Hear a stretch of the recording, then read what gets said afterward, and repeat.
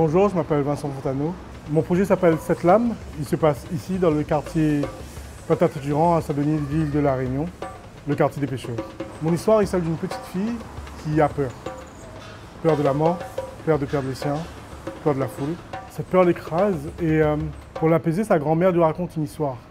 L'étrange histoire d'Eduardo, un pêcheur d'ici, et qui un soir de mer d'huile, où il était en train de pêcher, dans un reflet, il voit sa mort et il décide de l'abattre.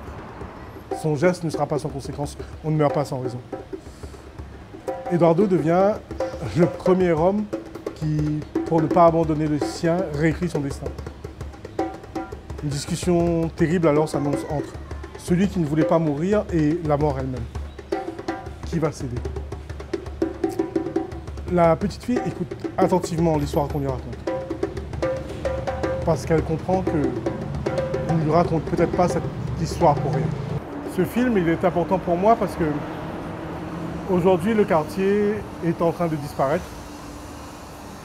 Il va être rasé et que c'est toute une, partie de l'histoire de, de ma ville et de mon île qui, qui part avec elle. Et j'espère que ce film pourra être comme un témoignage de qui ils sont, quelles ont été leurs vies,